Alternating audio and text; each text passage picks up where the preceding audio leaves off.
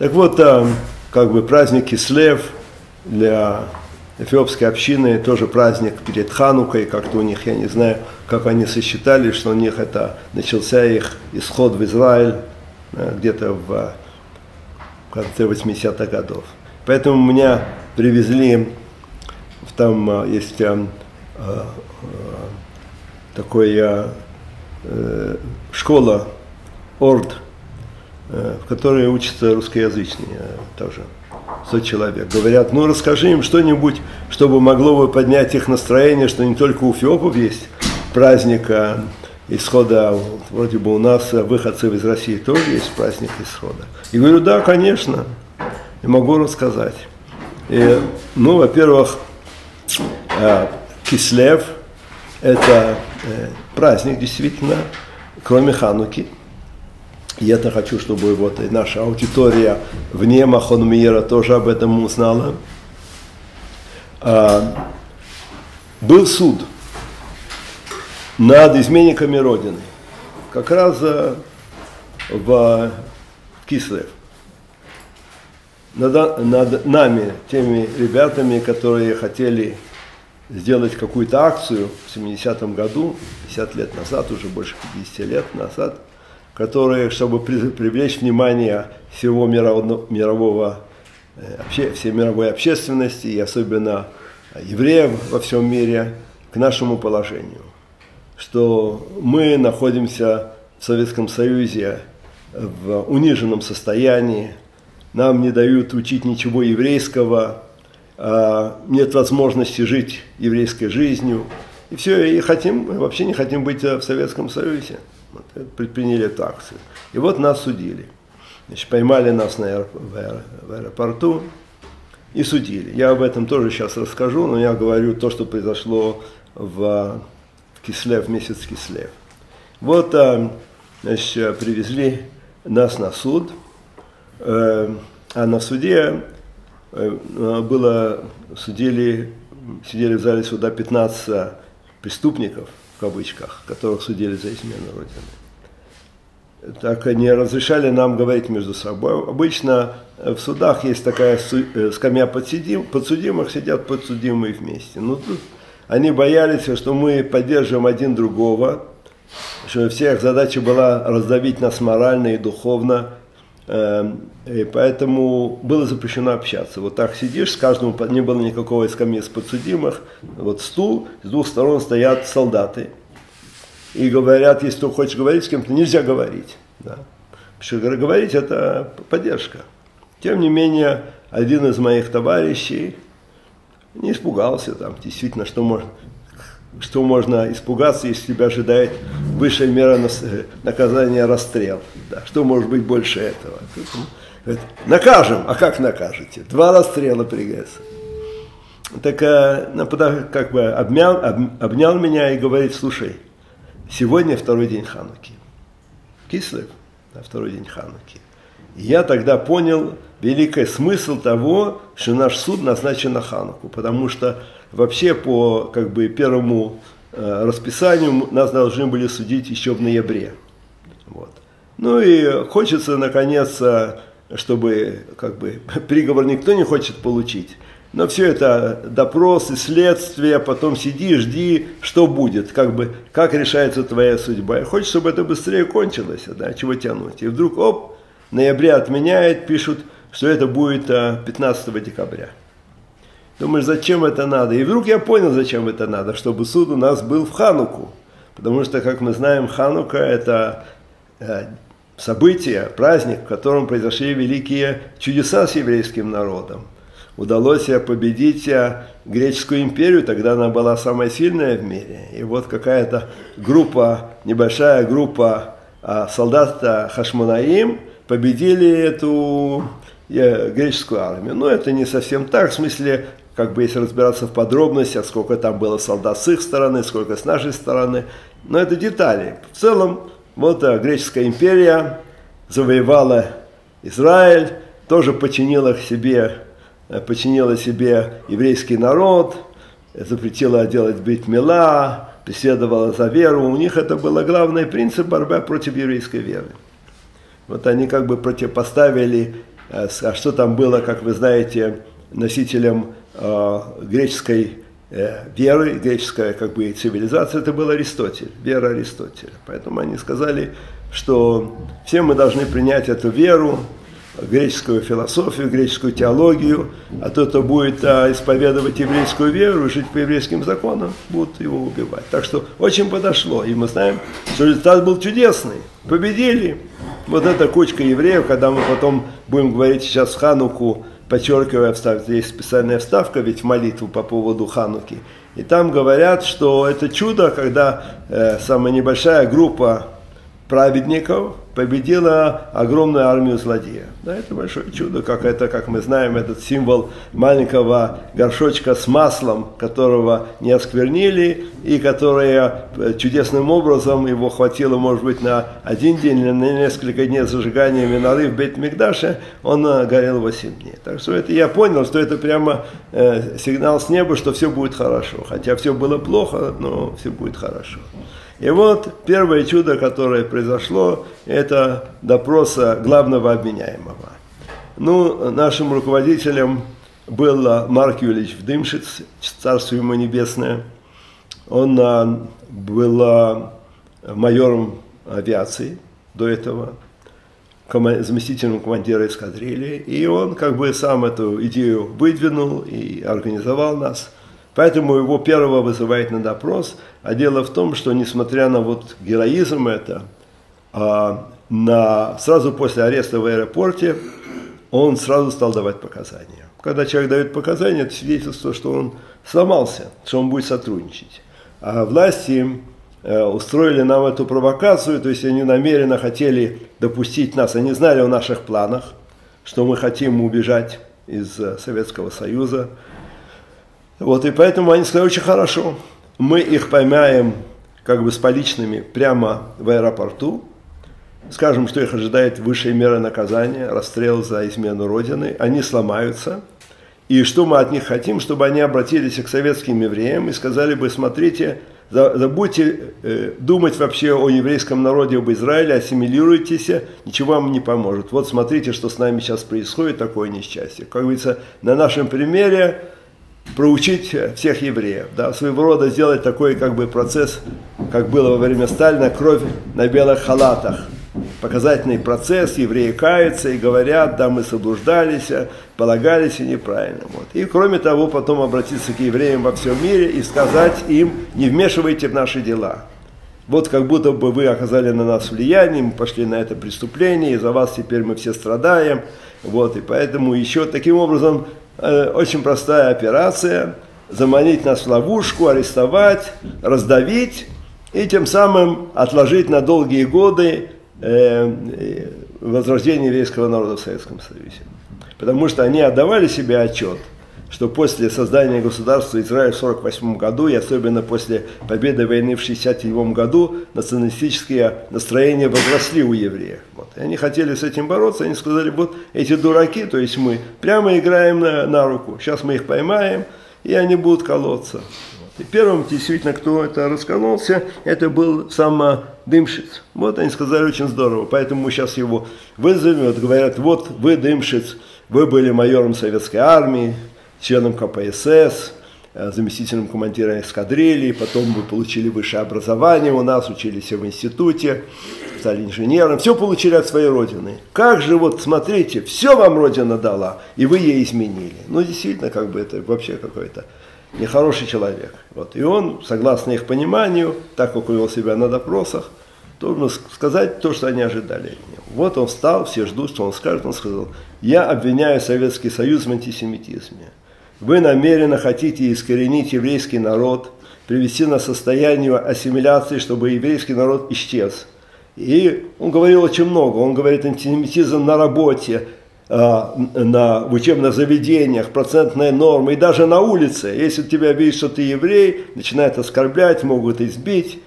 И он говорит даже то, что вы э, поддерживаете арабов в борьбе против Израиля – это тот же самый антисемитизм, хотя вы объясняете это всякого рода политическими э, ситуациями, это неправда. У евреев, наконец, есть своя родина, свое государство, и вы, как антисемиты, ненавидите это и хотите уничтожить еврейское государство. Поэтому, говорит, я встал на борьбу против вас. То есть я даже подумаю так, что, возможно, он понимал, что как де- главное действующее лицо, они могли бы его сразу убить. Поэтому он так им построил, что как будто бы он все сдался, и все, чтобы дать себе возможность эту трибуну э, выступить на суде. Потому что, правда, суд был закрытый. Вот. Но были родственники. И есть такое еще у нас выражение, это великий мудрец Куэлет, Шумамелах говорит такую важную фразу, он говорит, а все становится известным. Нет такого, чтобы не стало известным. Даже если думать сейчас неизвестно, так пройдет время, что будет известно. Ну, сядь, негодяй, там, сволочь, подлец, изменник, все.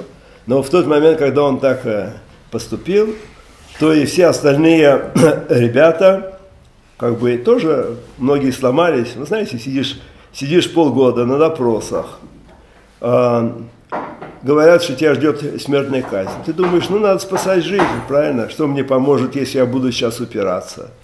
И вот э, как бы, ну не все, но в большой степени. Так им создали впечатление, что все, они достигли своей цели, они торжествовали. Сейчас устроят они этот показательный процесс, этот фестиваль. И, наверное, ребята пришли с таким настроением. Но тот момент, когда Дымшит, как бы наиболее авторитетное лицо, повел себя таким образом, они тоже пошли. И тоже заняли такую очень четкую позицию. И я смотрел на них, я думаю, прямо как а, на Хануке зажигают пасхальные свечи. Вот э, эти люди, когда они говорят, у нас есть такая общая фраза, они мамин, я верю, да, но это как бы какая-то декларация веры, а, надежности. И они зажигают, каждый из себя зажигает эту, эту ханукальную свечку, потому что понятно, что если бы они вели себя покладисто, они получили бы небольшой срок. А сейчас они получат по полной катушке, как говорят. Да? Это настоящее самопожертвование. Это было это ханукальное чудо. Поэтому, когда действительно объявили смертный приговор Марку Ильичу Дымшицу и еще одному нашему подельнику Эдуарду Кузнецову, ну, он так он э, русский по, по маме, но э, он сидел второй раз, считался особо опасным рецидивистом. По закону, если человек на политическом преступлении ловится дважды, это особо опасный рецидивист. Тоже приговорили к высшей мере. Мне, мне дали 15 лет за измену Родины, 15 лет за э, ущерб государственной безопасности – и пять лет за, за антисоветскую агитацию и пропаганду. Остальные получили меньше. Это было ясно, что это как бы, хотя никто не сказал то, что они ожидали, но сам факт наказания – это разгром. Это достаточно, чтобы опубликовать это, что вот были такие, которые думали что-то, что они способны победить Советский Союз, и сейчас они вот приговорены к таким тяжелым наказаниям. Ну, как бы, ну что делать? Я, конечно, Вообще меня как бы это, особенно то, что говорят пожизненное заключение, это жизнь, правильно? А смертный приговор – это смерть. Это, это было тяжело и неприятно, что ребят расстреляют. Вот а через а, неделю, вот я сказал, это была вторая свечка, восьмое, восьмая свечка, как вы знаете, это как бы самое главное шмини, йома шмини, шелханука, восьмой день, потому у нас а, седьмой, семь а, свеч, вообще-то как бы Э, вы понимаете, что праздник Хануки это связано с тем, что э, поставили, начали службу в Бейтамикдаше. Так это в секулярных традициях это особенно не отмечается, говорят только о каком-то чуде, победе над э, греками. А зачем нужна была победа над греками? Чтобы восстановить службу Бейтамикдаша. И вот, поскольку Бейтамикдаша одна из видов службы это зажигание свечей каждый день, миноры, то вот чудо было то, что э, семь не зажигали, и уже вроде бы масло должно было кончиться, хватило и на восьмой день. Поэтому называется Зотаханука. И вот на восьмой день, вечером, как бы с наступления этого восьмого дня, э, ночью уже, вечером, после отбоя, э, заходит ко мне в камеру какой-то капитан КГБ, приносит такой вот кусочек бумажки и говорит, пиши обжалование, пиши кассацию. Поэтому я говорю, знаете, как бы для этого нужен адвокат, я не знаю, как бы касаться, надо говорить. Вот я самый по этому пункту не согласен, по тому пункту не согласен. а мне нет адвоката. Он говорит, пиши все, что хочешь. Ну, я написал, что меня обвиняют в измене Родины, я своей Родине не изменял. Моя Родина – это Израиль. Что из того, что я родился э, в Латвии, в Советском Союзе. Каждый еврей, я в родине его Израиль. Я своей родине не изменял. Просто я говорю, я просил официального разрешения на выезд. И вы мне несколько раз отказывали без всякого объяснения. Поэтому не поставили другого выхода, как пойти на это, э, на, на это действие. Поэтому я считаю, что приговор несправедливый, его надо отменить. Он так прочел эту мою бумажку и говорит, что это за кассация? Да, так кассации не пишут. Я говорю, так э, дайте мне адвоката, я действительно. Вот. Он говорит, нет времени. Я э, потом узнал, что то же самое с моими подельниками. Всех собрали эти бумажки. Не знаю, они экономили на бумаге или не хотели, чтобы мы слишком много писали. И на самолете ночью привезли в Москву. Так мне рассказывает, рассказала э, мой, в кавычках, адвокат. Был хороший адвокат, Ария, известный московский адвокат, профессор юриспруденции, и у него был допуск к дела, вот, по политическим делам. КГБ давало только доступ к людям доверенным. Вот. Но он был, не знаю, наверное, из-за из своего большого как бы, авторитета, потому что там те, кто прокуроры и судьи перед ним вставали, он был профессором, они учились по его учебникам. Но он был хорошим евреем. Вот мне рассказывают, я уже с ним говорил, э, после падения советской власти, он мне говорит, вдруг мне звонят утром, то же самое Зота Ханука, а, приезжай в Верховный суд СССР. Он говорит, почему я должен приезжать? Обжалование по, по делу э, вот, самолетчиков, угонов самолета. Он говорит, «Э, это нарушение уголовно-процессуального э, права. По, закону можно обжаловать через несколько месяцев, нельзя через неделю обжаловать. Только сейчас кончилось, еще недели не прошло, и уже обжаловать. Они, говорят, они мне говорят, ты что, не понимаешь, это указание из Кремля, это указание из выше. То есть понятно, что когда указывают из Кремля, никакие законы не действуют, все законы отменяются. Он приехал на это а, верховное заседание Верховного суда, пересмотрели все приговоры, отменили смертную казнь, все остальные, а, все остальные приговоры их смягчили. Вот. Но уже было поздно, потому что когда они приняли эти свои драконовские э, приговоры, они рассчитывали именно на этот эффект испуга, что все испугаются и присядут. И присядут. Но это э, развернуло такой шквал протеста во всем мире – а просто никто не мог ожидать. Никто, даже Израиль не мог ожидать, что сообщение об этом может встрепенуть весь еврейский мир. И так мне рассказывает один из руководителей этого движения, Арав Авраама Авивайс. Он живет э, в Америке, сейчас он как раз, я с ним встречался на прошлой неделе, он здесь, в Израиле, у него все дети и внуки здесь, в Израиле. Он говорит, мы хотели помогать еврейским, советским евреям, но мы не знали чем – ну, там посылали какие-то посылки, и все мы понимали, что это не помощь. И в тот день, когда мы узнали, что вас арестовали в аэропорту, мы поняли, вот что надо делать. Надо бороться за то, чтобы всем евреям дали бы свободный выезд. И пошло-поехало. Как одна из этих реакций на то, что началось. Это было всего лишь неделя, да, они еще по-настоящему, советская власть еще не поняла, что на них на, упало, что на них свалилось. Это, потому что, вы знаете, а, э, можно говорить о нарушении прав человека. Нарушение прав человека – это серьезно, да. Ну, как бы вообще так, отсутствие свобод демократических, но это такие разговоры. А вот когда э, людей кас, касается вопрос нации, тогда это, это выходит за рамки всякой логики, да. А если нарушение прав человека, это нехорошо, можно поднять вопрос. А тут люди вышли из себя. Евреи, которые жили в Америке в то время, это были люди, которые еще только что спаслись от катастрофы, от Шоа. Да? Это был 70-й год. Значит, люди, которые в 20 лет, прошло где-то 20-25 лет, были люди 40-50 лет, были гораздо более молодые все. Вот, и они поэтому э, сказали, как снова начинается погромы евреев – мы этого не допустим. Вот это как бы был такой важный момент, который никто не ожидал.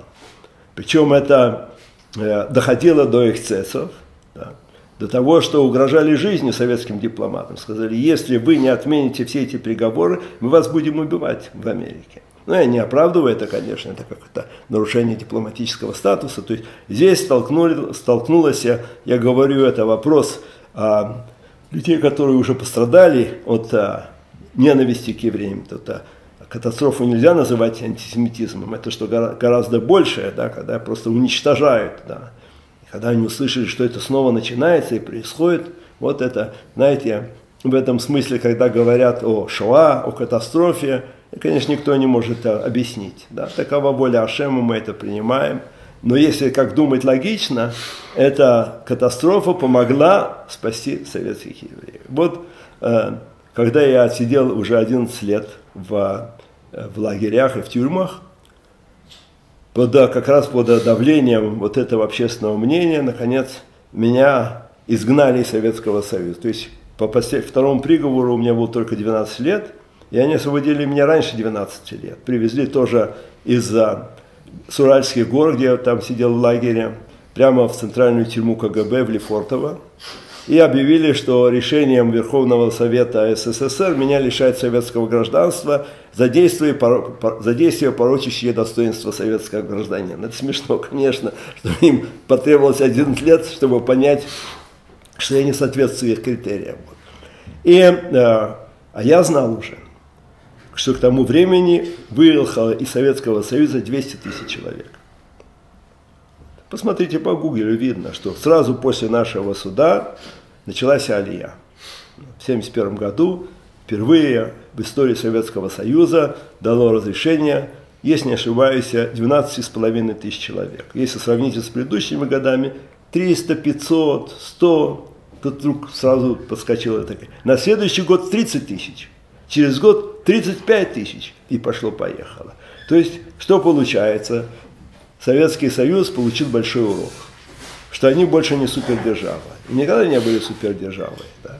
Почему? Потому что они вдруг, они решили, так они сделают, так они примут это решение, так они проведут, все превосходно получается. И вдруг они столкнулись с мощной стеной другой супердержавы. Что это за супердержава? Это еврейский народ. Еврейский народ, когда он объединяется, это, конечно, всем понимает, что это такая сила, которую невозможно преодолеть. Как сказал нелюби, не, нелюбимый многими э, Александр Солженицын, он сказал, я думал, что э, советская власть нерушима, но когда я узнал, что евреи выступают против нее, я понял, все, кончено. Ничего уже не поможет, так оно произошло. Так вот, когда, значит, меня привезли прямо из тюрьмы в аэропорт, э, сгонять меня, у меня сопровождал какой-то полковник КГБ, и я, как бы, перед тем, как подняться на трап, ну там, меня отвезли отдельно, отдельный самолет, я ему сказал, вот видите, полковник, вы арестовали нас 11 лет назад, чтобы не допустить, э, чтобы евреи стали уезжать. Уже уехало 200 тысяч человек. И теперь вы купили мне билет, билет, сами купили мне билет, только бы избавиться от меня. И говорю, вы должны признать, что вы совершили ошибку. Но на самом деле они знали давно уже, что они совершили ошибку. Вот. Он сказал, а, знаете, мы не представляли себе, что у вас есть такая сила воли. Но я не знаю, что он там это самое. Он может. так признался? Да, да, да, он говорит, не знали, что у вас есть такая сила воли. Но на самом деле ведь это не моя сила воли, а сила воли вот этого объединенного еврейского народа во всем мире. Сила, огромная сила, если сказать. Я ему сказал, третий полковник, вы до сих пор отпустили 200 тысяч человек, э, есть гораздо больше евреев вы должны сейчас начать отпускать всех. Если вы это не сделаете, то Советский Союз развалится. Знаете, как бы я не был пророком, но действительно, как бы через несколько лет он стал разваливаться, пока он не развалился до конца.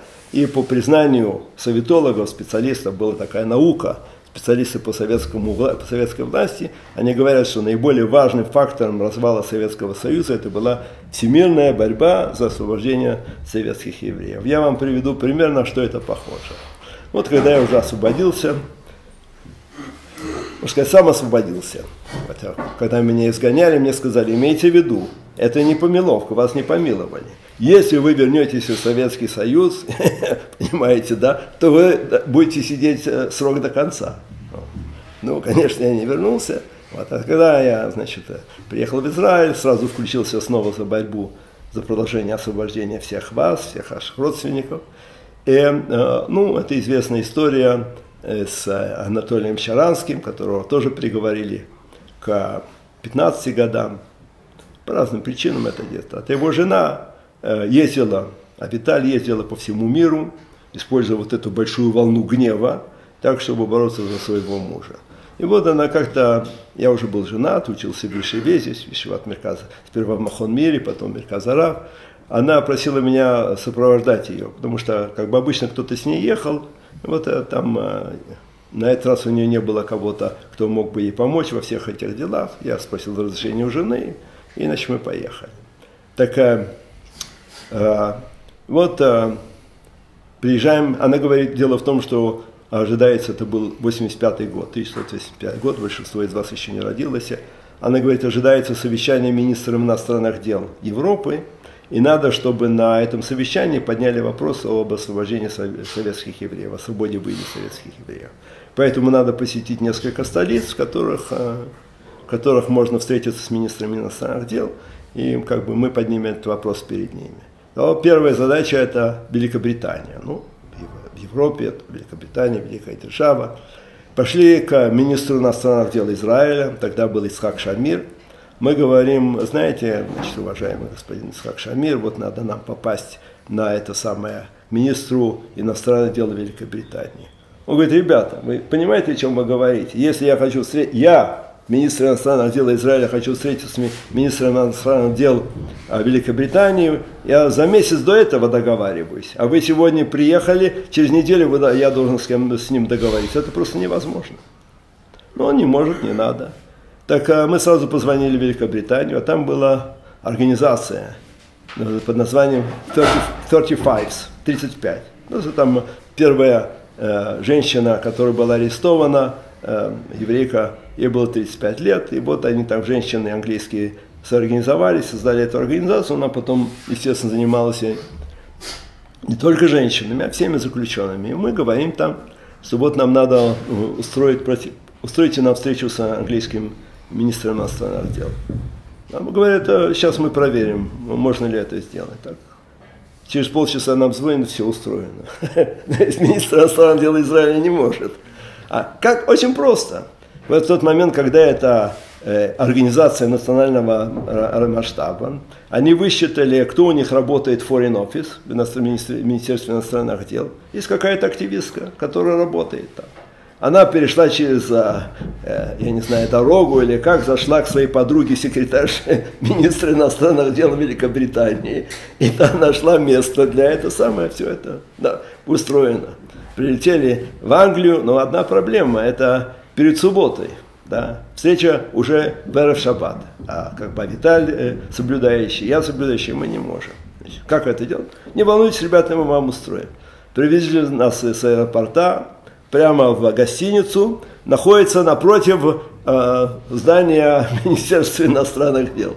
То есть там можно пройти без проблем. Ну, конечно, муксы, все надо выбрать из кармана, в субботу нельзя, но можно идти без проблем. Называется гостиница, называлась э, «Конная стража царя, короля».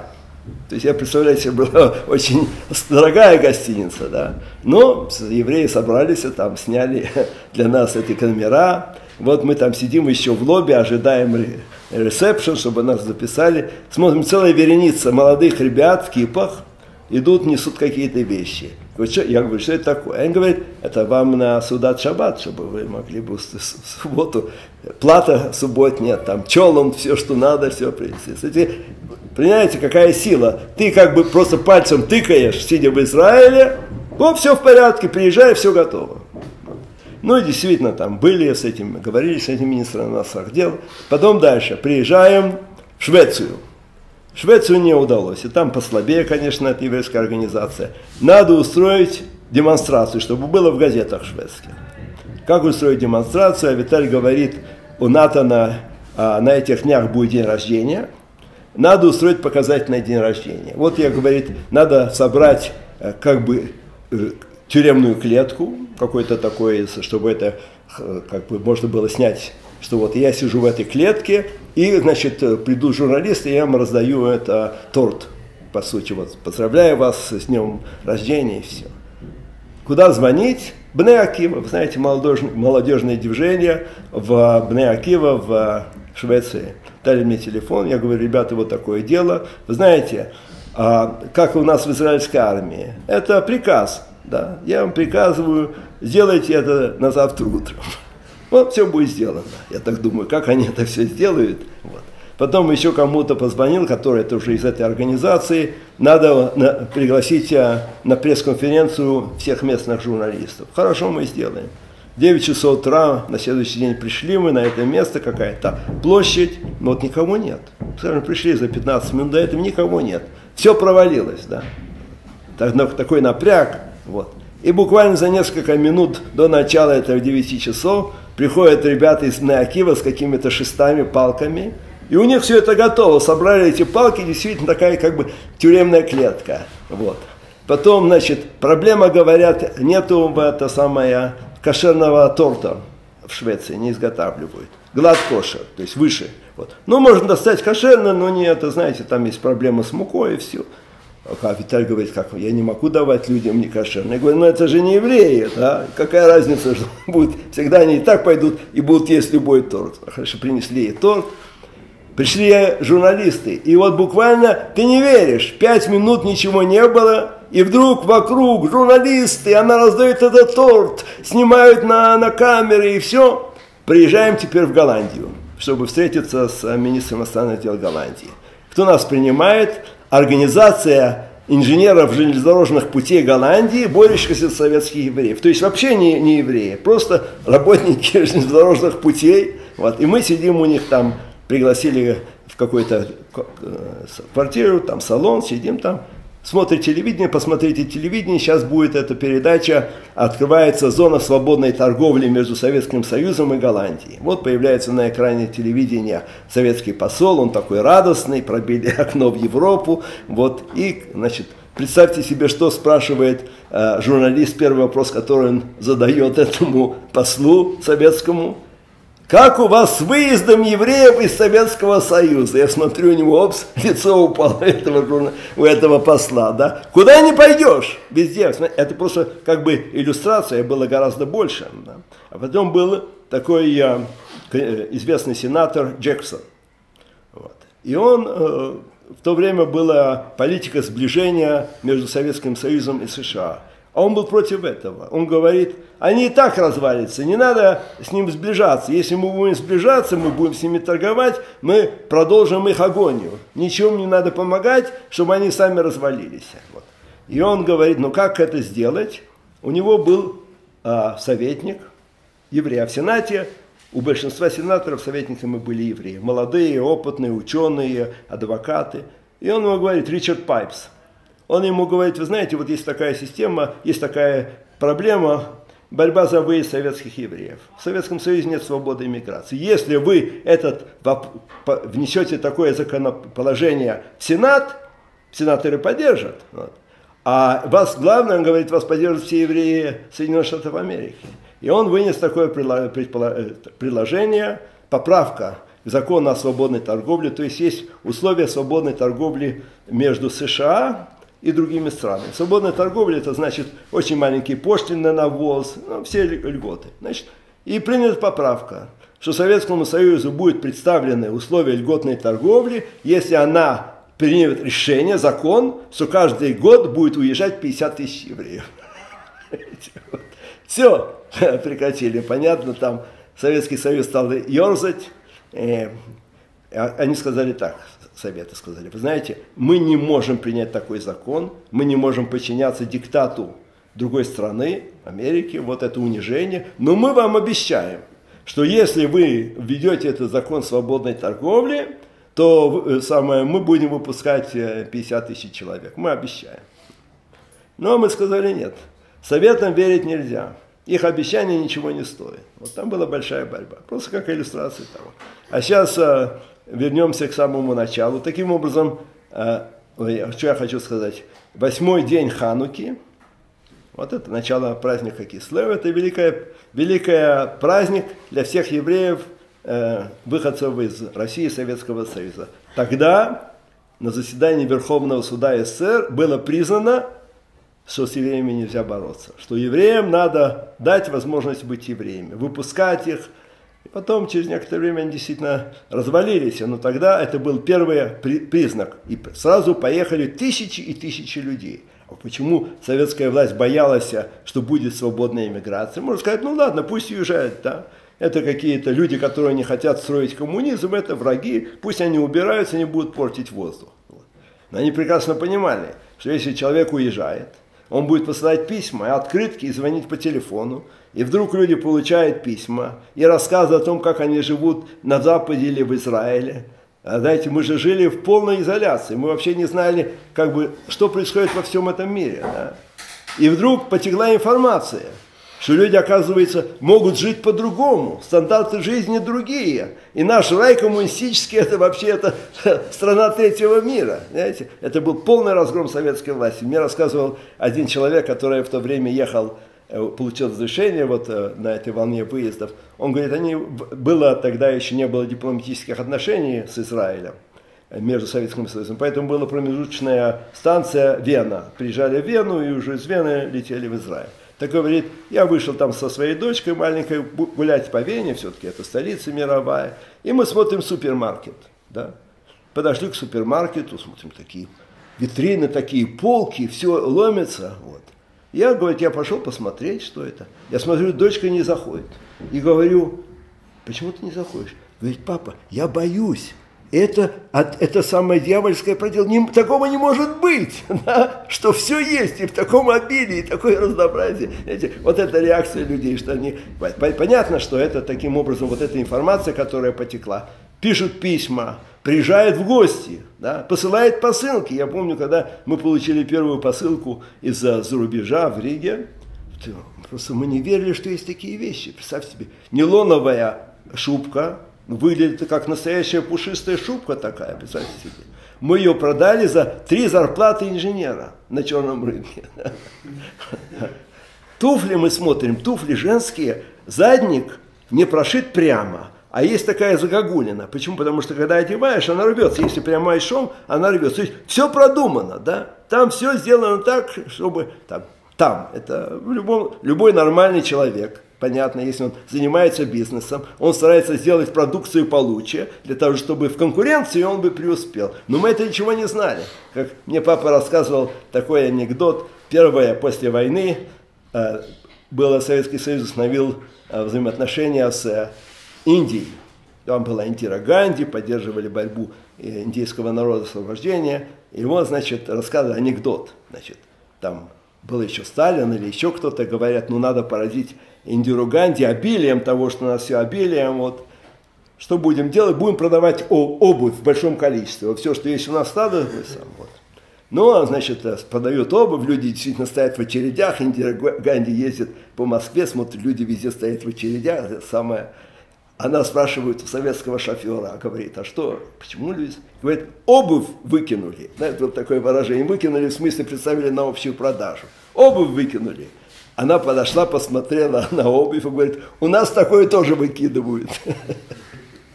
По сравнению. А теперь немножко о, о всей этой операции свадьбы. Вот первое чудо, которое произошло, э, э, тоже все, все как бы эпизоды, которые связаны с этой историей, они, безусловно, свидетельствуют о Божьем провидении. То, что мы говорим Ашгаха Ильюна, что Кадош Буруху решил и сделал такие вещи, которые нормально не могут произойти. Я вам говорил о герое, герое еврейского народа Марке Юлича Дымшица, которого все забыли, конечно. Как он стал вообще коммунист, член партии, вдруг он попал в еврейскую организацию. Очень просто.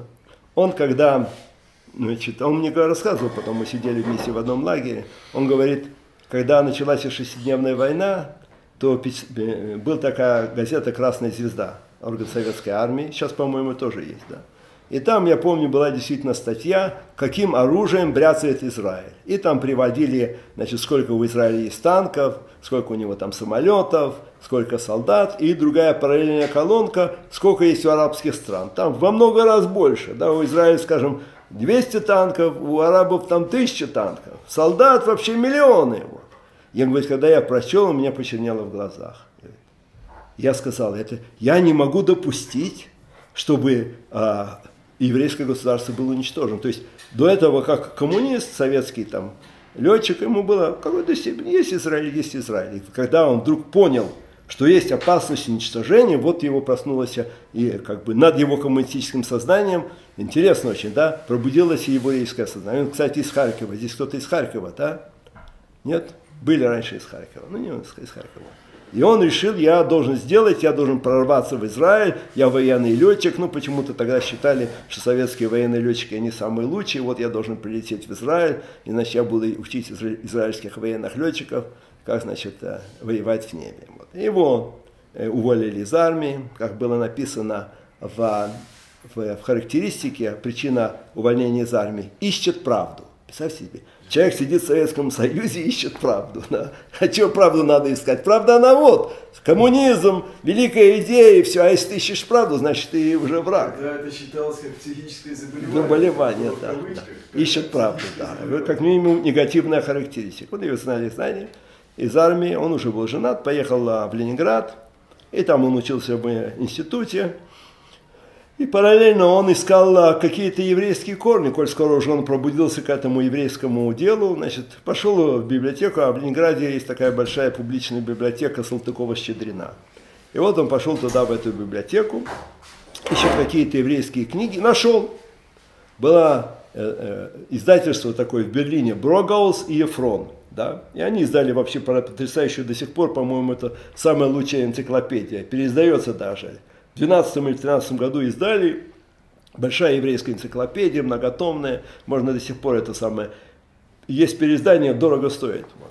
И нашел учебник иврита Брогоза Ефрона. И вот он сидит – и, значит, он переписывает эти буковки, а он на самом деле был штурманом. То есть не летчиком боевым, а штурманом. А штурманы, они в то время рисовали карты. Вот поэтому он пересовывает более или менее еврейские буквы. Я говорю, еврейские буквы это как иероглифы, правильно? Я вам показывал вот это самое. Алеф это на самом деле бык. И алеф на иврите это бык. Да? Бет это бает. Далет это делет. Правильно? Вот. Так он это пересовывает. И какой-то там мужик сидит рядом с ним, но это публичная библиотека, за одним столом сидят несколько человек, смотрят, что он там делает, я уже не знаю, и он так как бы фыркает носом, подсмеивается.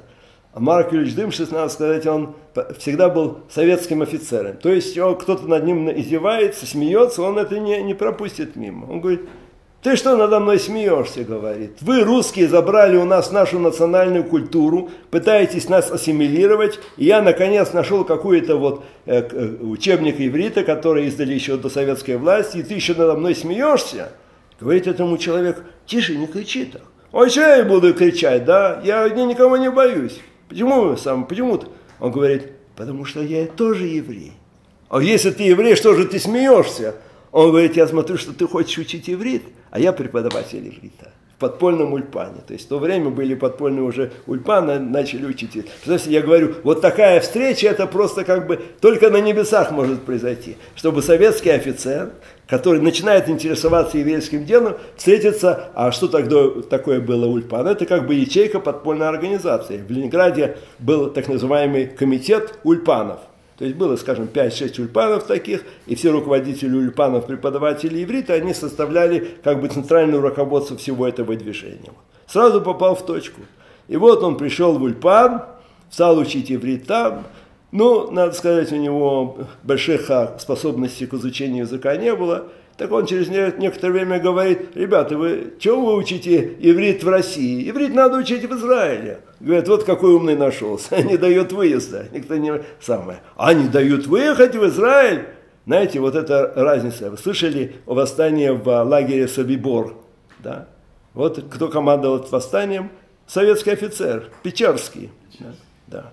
Причем еврей, естественно. Вот. И, значит, когда привели ну, группу военных Э, военных, э, э, военнопленных, советских военнопленных в этот лагерь Собибор, там уже было какое-то подпольное движение, это был лагерь массового уничтожения, газовые, газовые камеры, убийства, я не знаю что.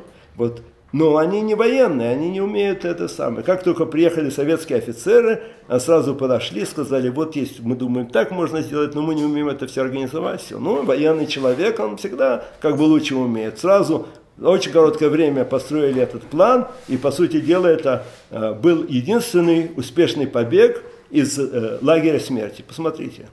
Собибор, Печерский. Вот. Да, да. 300 человек убежало, ну потом, конечно, они косили с вышек из пулеметов, но все равно все люди были обречены на смерть. А так 300 человек ушли партизанами. Э, Печерского после войны посадили в лагерь за то, что он был в плену. Вот. И только Путин наградил его, э, есть такое звание Герой России, что такое, посмертно ему назначили. Ну, неважно. Вот. Я просто пример того, что военный человек это, не, это военный человек, это не гражданский. Так и дымшиц. Ему говорят, нельзя, ну что думает обычный гражданский человек? Ну нельзя, нельзя, что можно делать? А военный думает, а нельзя, значит, надо придумать, как можно. Вот такая, значит, он там встретился с одним преподавателем иврита Илелем Бутманом, ну, они оба уже не в нашем мире, скончались близко к 90 годам здесь, в Израиле. Тогда были люди 40-летнего примерно, и все. Он был капитан, э, лейтенантом милиции Бутман, так что тоже военный человек. И вот они так примерно, у них появилось э, мнение, что надо попытаться угнать советский самолет, и это наделает шума во всем мире.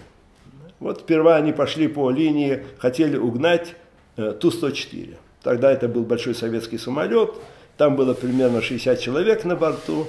Они говорят, надо набрать много участников. Вот так а, вроде бы ученики в Ульпане, э, в этих шести Ульпанах, их родственники примерно доходили до этого, до этого размера. Значит, начали переговоры с ними, что вот, мол, не хотите ли вы попытаться убежать из Советского Союза. Ну, понятно, что это было не очень осторожное действие, потому что, поскольку все это движение было культурно-образовательным, и если любой человек, который узнает, что есть тюльпаны, и придет скажет, я хочу учить иврит, ты же у него не будешь проверять, он сотрудник КГБ или нет. А брали всех. Это понятно, что уже до этого э, все, вся эта самая организация была под прицелом у, у КГБ. Ну, короче говоря, они стали этих людей вербовать, а потом узнала, они делали это так явочным порядком. Не спросив, там было руководство, Ленинградский комитет, а, так а, когда они узнали, они сказали, ребята, вы что, с ума сошли? Вы вас точно уже всех посадят. Вы уже сейчас уже на, как бы за вами следят. Да? И, но хорошо вас спасает, это ваше дело. Но разрушит все движение. Ведь нас в чем обвинят? Мы преподаем иврит. А ваши участники вашего угона будут ученики наши ученики. И скажут, что это за ульпаны такие. На самом деле это центры подготовки терроризма. То есть представьте себе ужас, да? Говорят, что евреи учат иврит подпольно, и с этим трудно бороться. Мешали, да, и все, ну, ну как бы это, учат иностранный язык. А сейчас, оказывается, это группы под подготовки террористов, целые как бы другие действия готовятся, и все. Разгромят страшно, страшное наказание. И посмотрите, он говорит, что получится. Вас это вас посадит, и нас посадит, и мы разрушим все это движение. Ни в коем случае это не делайте. Ну, Дымшиц и Бутман, они были сорви голова, они сказали, нет, мы, мы это продолжаем. И потом это до меня дошло, я был в Риге, меня тоже при, привлекли к этому делу.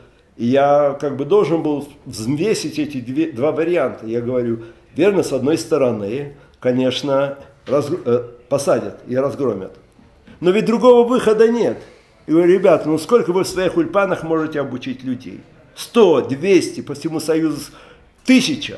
Там было в Советском Союзе два с половиной миллиона евреев, а степень ассимиляции достигала 70%. Вот многие из вас, ваши бабушки и дедушки, они в безвыходном положении, не было вокруг евреев, не было синагог, не было встречаться. Они женились, кто с кем они учились в институте. Так нашла. Ассимиляция съедает все 70%. Скоро никому не останется. Поэтому какие там изучения иврита? Надо прорваться, надо открыть брешь, чтобы люди могли бы уйти отсюда. Ну, когда они поняли, что мы не подчиняемся их приказу, они говорят, а мы обратимся сейчас к израильскому правительству, если они одобрят вот ваш, а мы тоже присоединимся.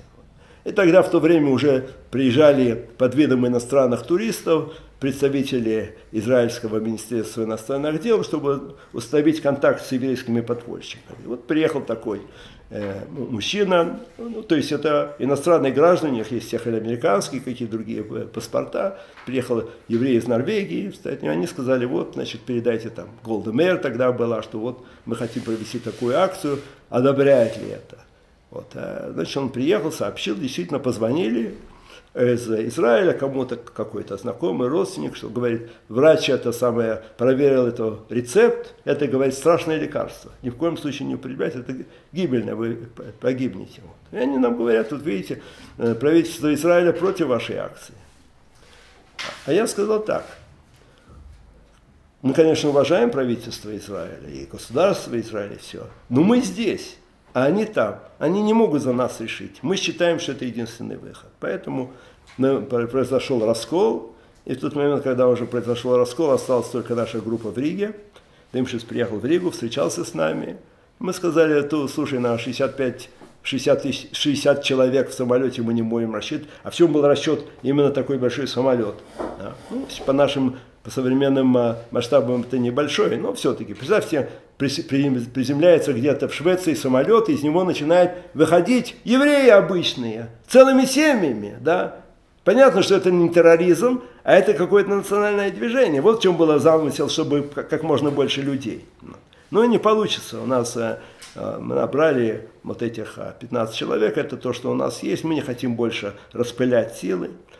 И, значит, он самое хорошо. Через некоторое время он нам звонит из Питера и говорит, есть очень э, подходящий рейс, он говорит, как будто бы специально придумали для нас. Это, это на самом деле придумали для нас, да. Придумали действительно для нас этот рейс. Как я уже сказал, как бы придумал для нас. В чем был хороший этот рейс? Самолет вылетал из-под Ленинграда, был такой аэропорт Смольный, но не менее, я не знаю, как связано со Смольным, известная история Смольного, что самое там было какое-то самое, какое-то центральное правление Советов, другой Смольный. Вот. Местный аэродром Смольный, самолет летит в сторону финской границы и садится в городе Приозерск, который находится на расстоянии 50 километров от границы. Но не главное это самое, все равно, пешком то границу не пройдешь, она охраняется бесполезно. Но что, он, а, Дымшин слетал на этом а, маршруте, он говорит, самолет садится на взлетно-посадочную площадку неохраняемую, да, потому что это как бы предназначено для туристов, Туристы выходят, такой какой-то такой очень такой неказистый полет, нет охраны. Вот поэтому он говорит в тот момент, когда самолет приземлится, и летчик пойдет открывать э, нам вы, э, самая дверь, мы просто э, все, весь, все как бы пассажиры будут членами нашей организации – мы как бы красиво их попросим, что вот, мол, не могли бы вы подождать там на суше, нам надо слетать здесь в Израиле, вы как бы не волнуйтесь. Да. И решили, конечно, естественно, что никакой крови, не пролития крови, потому что понятно, что это будет позор для еврейского народа, но как бы с одной стороны это совершенно оправдано, потому что у этих летчиков они были на, на службе советской армии, у них было оружие, и они подписали обещание, что если кто-то попытается бежать, они его убьют. Да.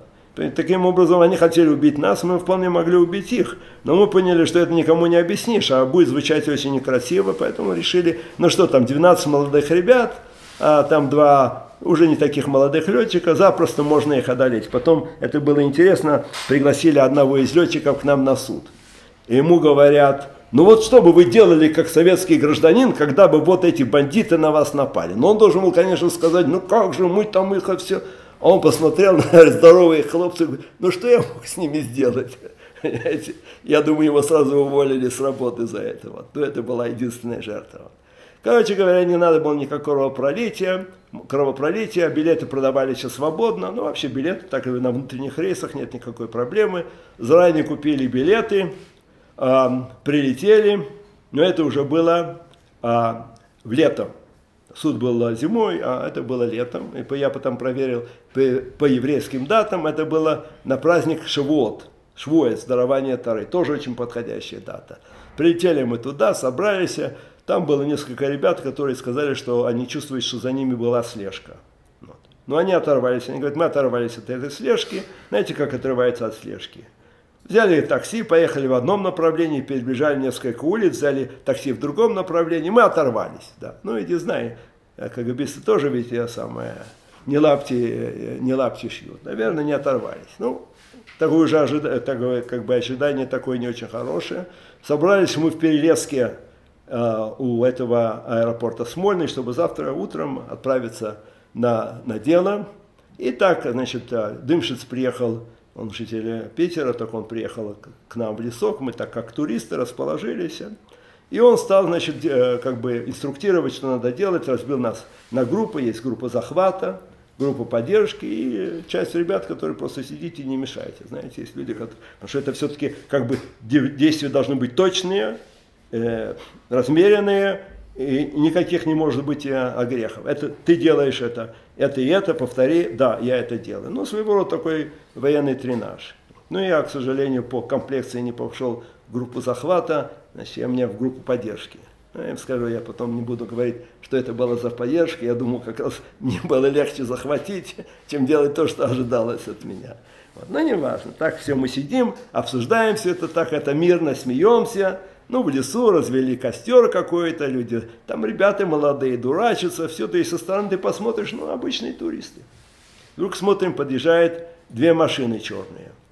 Ну, это тогда была известная машина «Волга». Вот. И «Волга» с номерами, которые только Комитет государственной безопасности. У них было так 005 и 006. Вот два, две такие машины. Вышли оттуда вы люди в штатском и идут в наше направление. Ну, думаю, сейчас, конечно, нас будут арестовывать, потому что, иди знай, возможно, там за спиной целый полк КГБ. Но известно, что э, Владимир Владимирович Путин как раз в этот год, в 70-м году, стал служить в войсках КГБ в э, Ленинграде. Надо будет у него при случае спросить, не участвовал ли он в этой операции. Вот. Ну что будет, сейчас будут нас арестовывать. Нет, ничего подобного. Пошли немножко, не дошли до нас, стали как-то смотреть, я не знаю, на, на ворон или еще, сделали вид, что там чего-то ищут и уехали. Как бы от, да, сердце отлегло, но с другой стороны понятно, что это уже плохой признак. Некоторые ребята говорят, э, это точно за нами следят, все надо убегать, надо разбежаться. А я сказал, и Дымшиц, там, и Кузнецов говорят, нам не поможет, если действительно за нами следят, нас все равно арестуют. Но тогда нас арестуют, когда мы отступаем, разбежались, это позор. И, так если уже собирается нас арестовывать, пусть арестует нас на пути в Израиль. Правильно. Пойдем на, в аэропорт, а там будет что будет. Или арестуют его прямо в аэропорту, или там у них есть какая-то засада в самолете, и, возможно, самолет поднимется, они его собьют. Но тогда всем будет известно, что вот была группа евреев, которые были готовы умереть для того, чтобы другие имели бы возможность свободного выезда. Ну, там все, не все были готовы, потому что была часть людей, которые не, не ожидали, для них это была неожиданность, почему-то они думали, что это все пойдет так гладко. Ну, сказал командир, сказал Дымшин, сказал, идем до конца, пошли до конца. На следующее утро встали, такое, я бы сказал, приподнятое настроение, просто как бы радость. Да, что ты участвуешь в таком великом деле, потому что было очевидно, что это какое-то великое дело. Это Кадош Буруху дает такую возможность спасти еврейский народ. Да.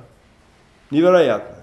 Пришли на, в аэропорт, ну там еще как бы сделали еще какую-то дополнительную проверку. Обо всем этом читайте в моей книге. Ну, значит, вроде бы нету никакого наблюдения, нету хвостов. Объявляют посадку. Вышли на посадку, и вот так ребята идут на посадку, а аэродром, аэропорт э, местный, поэтому шли пешком. Да, мы смотрим, там стоит самолет этот, где-то там на расстоянии где-нибудь 50 метров, идут туда. И вот так я сам выстроились. Мы договорились на, в, в самом здании аэропорта вести себя как, э, не, не как группа. То есть каждый сам по себе, никто не знаком. Знаете, когда это сыновья Якова поехали в Египет искать Йосефа, они тоже договорились, что каждый зашел с другой стороны, что мы никак э, не связаны между собой. Но когда я смотрю, я иду последний в колонии этой, и смотрю на них, это было ясно, что это, я говорю, это настоящая армейская группа. Я вообще мечтал все, сразу самое, если удастся убежать, сразу начну служить в израильской армии. Я говорю, вот это уже, уже служба в армии. Идем, а военная операция, да, такая серьезная военная операция, так, гордость, такая радость. Вот смотрю, ребята как-то оборачиваются и что-то ищут глазами. Что они ищут, что они смотрят, я тоже повернулся, и вдруг я понял, летчик исчез. То есть мы видели, когда он пришел, пришел со своей женой э, и двумя дочками, и под, и вдруг его нету. Понятно, что все, все подозрения снова или его арестовали, А иди знай, может быть, он сбежал, жена его уговорила, не знаю что. Короче говоря, не имеет смысла больше идти к этому самолету, потому что мы же не, не хотим совершить прогулку, да?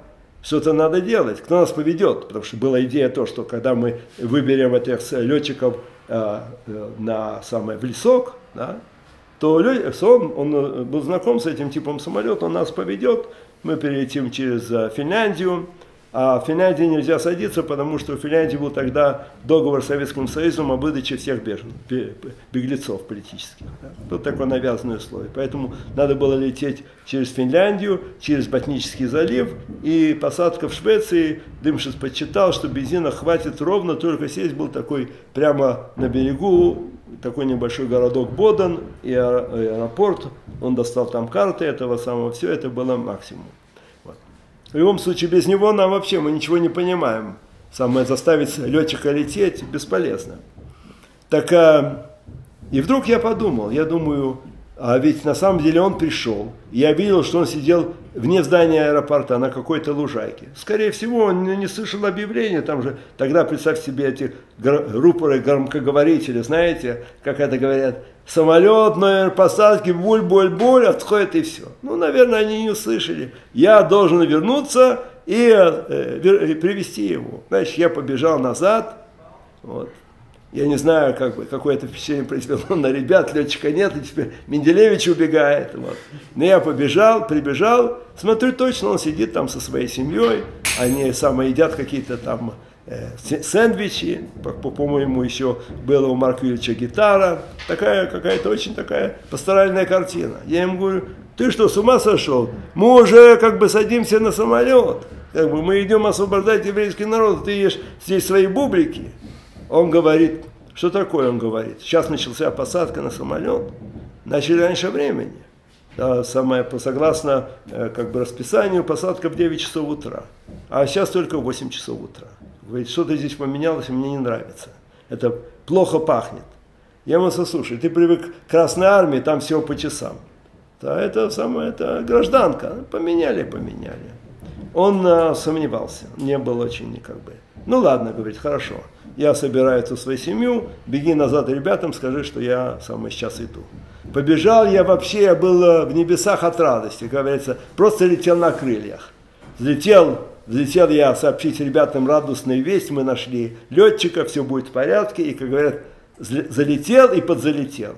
Да, сразу на меня навалились там, повалили на землю, связали руки, ну я так лежу еще на, там, на, бетон, на бетоне этого аэродрома и говорю, ну, то, что мы ожидали, арестовали. Но не убили сразу, тоже хорошо, правильно?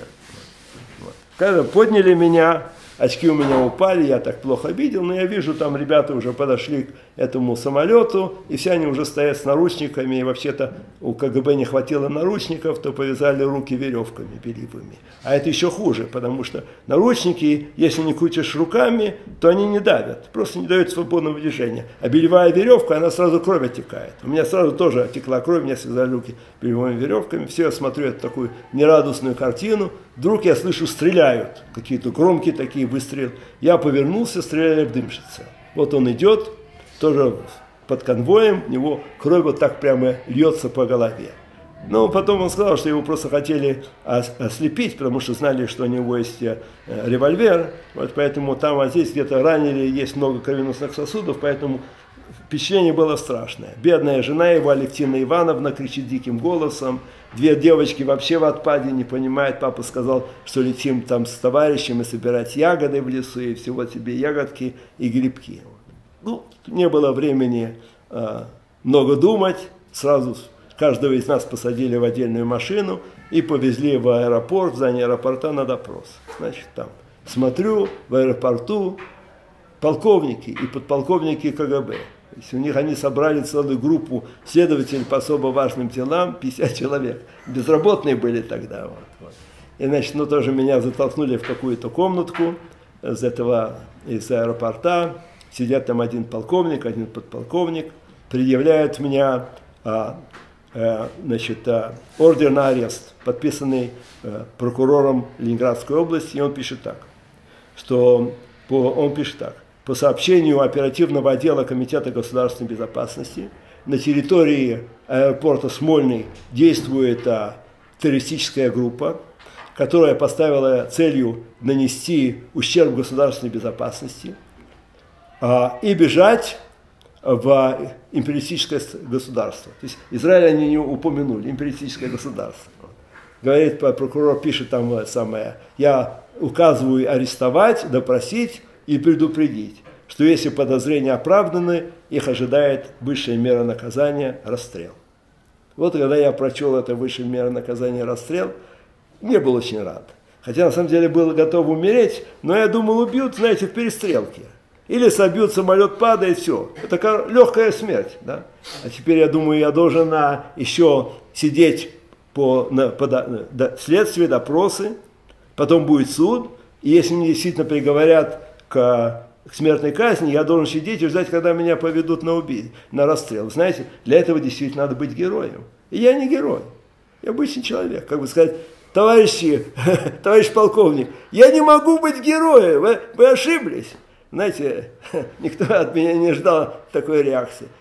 Не было выхода, надо было быть героем. Я сказал, я ни в чем не признаюсь, ничего не подписываю, не даю показания. Он говорит, видели мы таких героев, сейчас мы тебя повезем в э, тюрьму КГБ, там ты нам все расскажешь. И вот, значит, всех нас, каждого в отдельности посадили в эти Волги. Вот езжу, еду я с этой черной Волгой. Там было вообще э, такие шторки на окнах, но была какая-то щель. Я смотрю, вот, утренний Ленинград, Питер, красивый город – дворцы там, люди идут на работу, дети, смотрю, мама, мамаша какая-то с коляской, жизнь. А моя жизнь кончилась.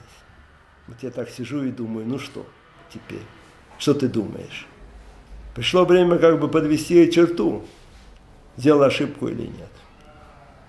Я подумал, говорю, нет. Я не жалею о том, что я сделал. Это такое счастье принести свободу своему народу. И не зная, принесем ли мы свободу, но мы попытались. Да. я горжусь тем, что у меня хватило силы это все выдержать. Ну, а потом привезли в тюрьму, а вы знаете, это уже тюремная жизнь, это зеки, значит, сразу самое, срезали пуговицы на штанах и на, на рубашке, отобрали э, поясной ремень, забрали шнурки, и ты уже все униженный, там тебя Э, допросы и осмотры, и все, и закрыли в камеру, сидишь в этой камере один, и никто тобой не интересуется. Как какая-то самая, все, могила. Почему были люди, как сам Дымшиц начал давать показания сразу на, в аэропорту? Вот, и поэтому им особо ничего не надо было знать. Он все им сказал, все имена и все. Я говорю просто, что не хочу идеализировать. Все это было не очень просто и не очень приятно. Но, как мы знаем, в, конче, в конечном счете началась алия, я говорю, через день после Хануки Зота Ханука собрался политбюро и принял решение, что они недооценивали силу национализма в Советском Союзе, и по сообщению глава КГБ Андропов был такой, не менее 10% евреев в Советском Союзе по-прежнему отравлены национализмом. И поэтому назначили как бы пятилетний план, две пятилетки, освободиться от этих 10%, так чтобы как бы чтобы они убрались и больше не отравляли сознание хороших советских людей. Но мы уже знаем это на, на, по принципу борьбы с кронвирусом, правильно? Тут самое, если пошла зараза, она всех отравляет. Освободили они действительно 10%, я говорю, через 10 лет примерно, вот 200 тысяч человек уехало, но потом эти 200 тысяч отравили еще 200 тысяч, 200 тысяч отравили 10 и пошло-поехало, да. И пришлось выпустить всех. Так что празднуйте праздник Рошходыш Кислев. Это большой праздник для евреев России. Начало и победа на самом деле над этим злым врагом, который хотел нас уничтожить. Точно так, как это произошло во времена э, греков, Маковеев и прочее, прочее. Спасибо за внимание. Хак Самеях, Рош Ходыш Тов.